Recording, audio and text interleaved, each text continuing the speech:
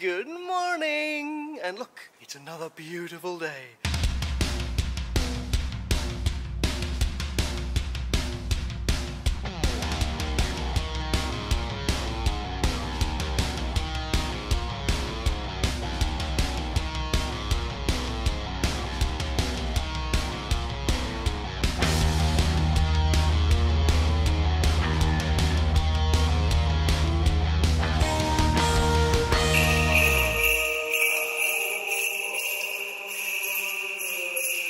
Today we are leaving Plovdiv, sadly. It's had great fun here. There's been so much going on, so much more to see, but we have to move on. We are going to visit Shipka. So, not to long drive, let's pack up the car and go and see some more Bulgarian country. I parked a little close to the wall the other side, so I'm going to have to climb in via this side. I'll get back to you soon.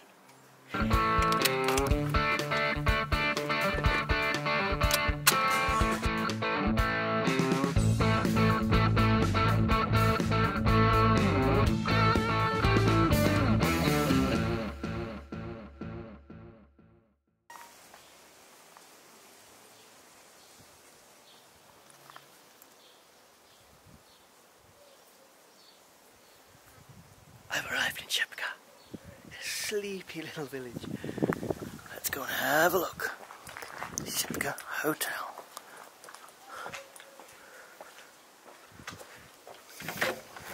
Oh, goodness. I get in.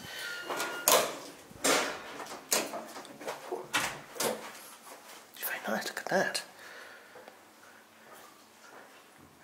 Little restaurant through here. Wow Looks beautiful. And peacefully quiet. All I've got to do is find somebody now. Reception is a little quiet. Ah, here comes somebody. Добър ден. Good afternoon. Good afternoon. uh, my name is Simon. I have a reservation for tonight. I have a single room. Yes. Yeah, okay. Okay, got my key. Let's go and have a look at my room for the night. Nice sleepy, quiet little hotel. Apparently there's a nice veranda outside, and this is my room. Okay, it's got a ceiling fan, two twin beds. Here's the bathroom. Again, wash and basin, toilet, and shower hiding in there. Uh, towels on the bed. Oh, foam mattress. And let's have a look. Oh, windows open. Oh, beautiful view. Big veranda to go and sit on as well. Lovely view over the hills. That's nice. Oh, and there is a TV. There we go. So here's our little room for the night in Shipka, which I believe cost 19 euros. I don't think that includes breakfast. But this will do us nicely for tonight while we have a little look around Shipka. Now as you approach Shipka or drive around, you'll see, tucked against the mountains, these gleaming golden domes. Now that is a Russian style church that was built as a thank you for something. Can't remember what. Anyway,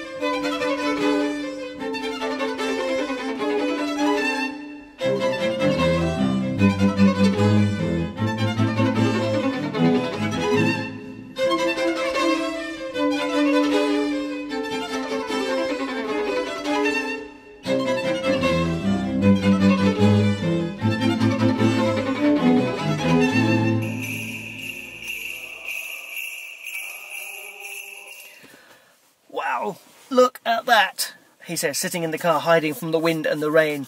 Uh, came to the top of the hill. This is about 30 minute drive from Shipka village, um, up a twisty, twiny road. I don't think there's any form of public transport up here, so you can either hire a taxi driver in the town, if you can find one. Maybe a hotel can arrange one, because there's not much happening in Shipka. But anyway, up the top is this amazing Soviet era conference centre. It's all been sitting and decaying for years now. It um, must have been quite amazing when it was uh, opened, when it was first when it was first built. Um, but now it's sitting decaying. It's it's one of these many things that you'll find in Bulgaria that is a reminder of both the Soviet um, era when it was part of the Eastern Bloc and of its socialist past. And it's always good to remember our history, but we don't always like our history, which is why the victor always changes the history to suit his or her story. But anyway, this is close to Shipka. I've got a car so I can drive up here. Um, it's quite amazing to come up and have a look around. There's fantastic views all around as well. They're building wind farms over there because it is really windy up here. Um, just to give you an idea, in Shipka it was 28 degrees. When I came up here, it was only 17 degrees. So uh, I'm in shorts and t-shirt, and it was a bit cool and breezy out there. But uh, and it rained. So I, I, was hanging around hoping that it would clear for the evening, but I, all I can see is more and more rain coming in. The hills around here are stunningly beautiful, but rapidly disappearing in grey swathes of rain and cloud. So I'm going to head out soon. I have got some shots of this. I hope they'll be okay and give you an idea.